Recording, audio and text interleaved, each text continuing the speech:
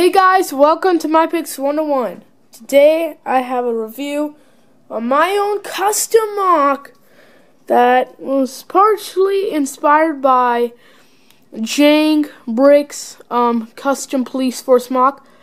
Um, he was the first one I had an idea about this. I did take the actual body size. I'm pretty sure it's the same as that model that he has but I added a whole new thing.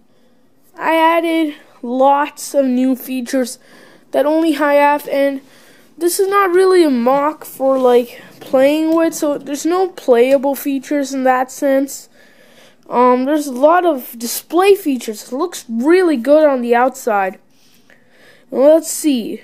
So, so here we have the front of this. And this is my favorite pose right here like right there. It's pretty cool as well, like right there. That spoiler kind of looks a little too long in this one.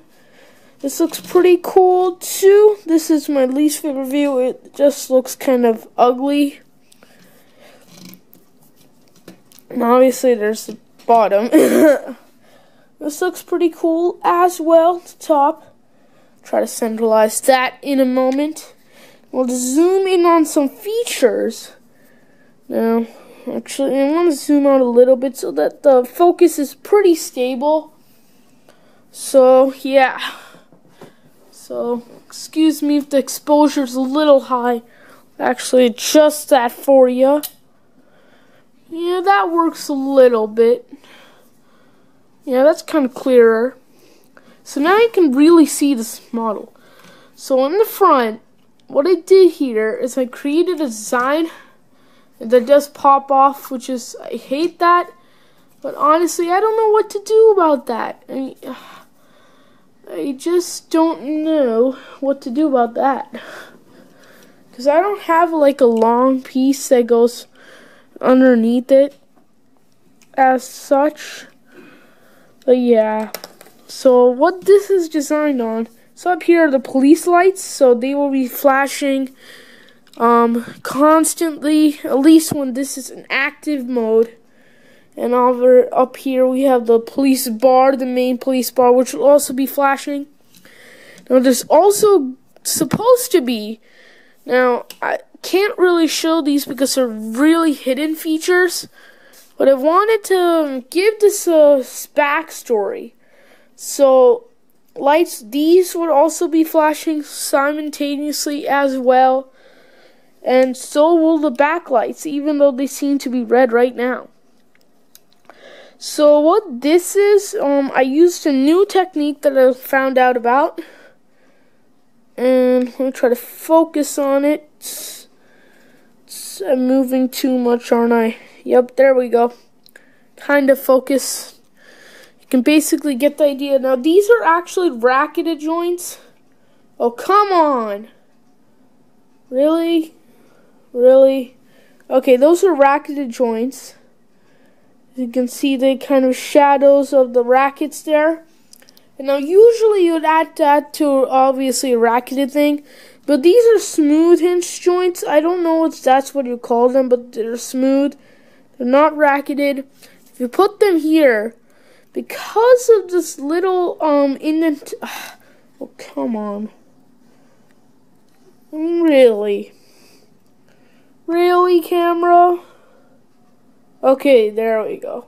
This somewhat. There, you see that little circle?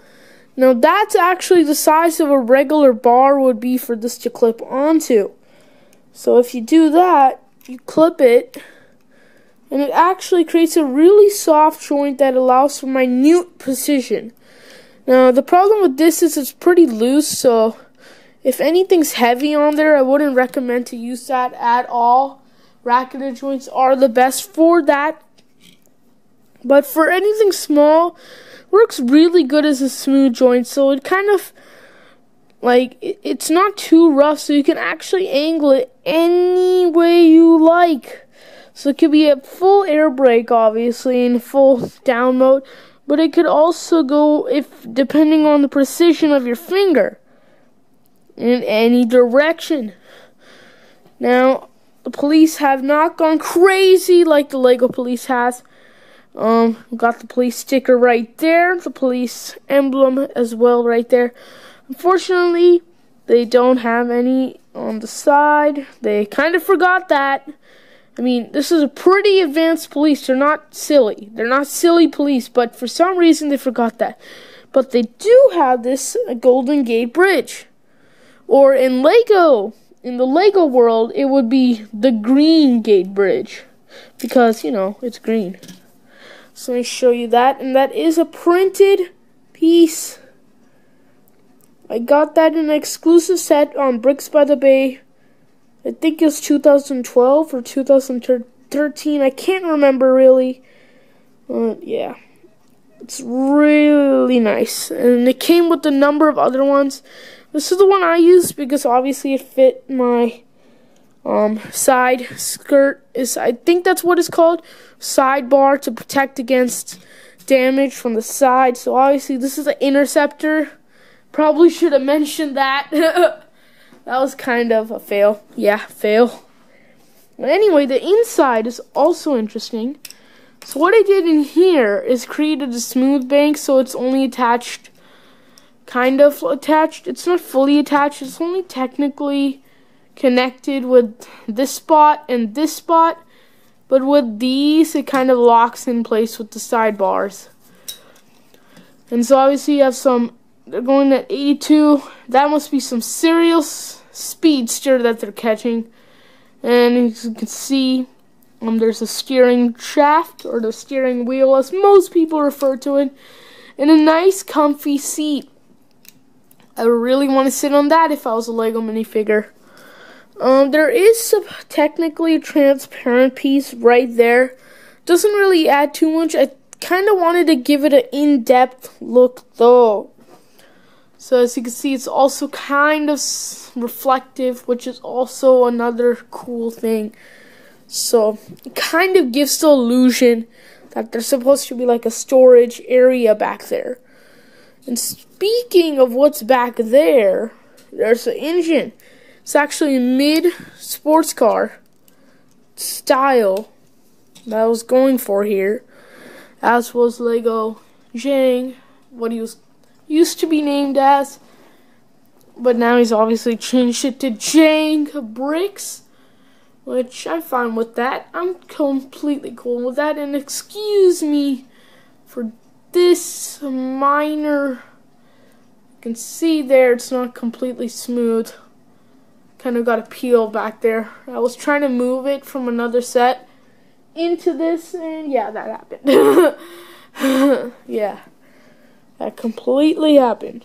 And so as you can see, uses like thrusters or some kind of futuristic technology only the government agencies know about. So maybe it was like access from derived, um, like the smartest brains, and maybe even something going on at Area 51. We don't know, guys, but this is what the police have found and have used you can see there's transparent green and transparent light blue, which I love that color. It looks, I think it looks great. It's a nice, great color.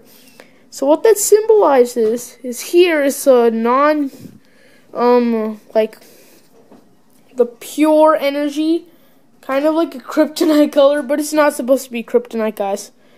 They're not evil. They're not evil, guys. Okay and then they kind of filter that and then becomes a pure energy the rest of it actually becomes stored in this this area right here.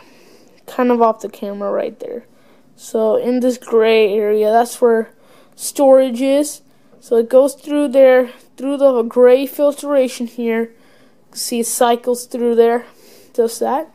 And obviously, before it gets too heated, ventilation systems are installed. So that's that and comes as this kind of assembly. And that's actually pretty much it. So obviously the rest of it's just details like side vents that look pretty nice. A front vent which also looks pretty nice. Let's put this right back together. And see it off for the finale. So that is basically the MOC I built. It's pretty cool. I like it. Maybe you like it too, guys. So that's pretty much it. And thanks for watching.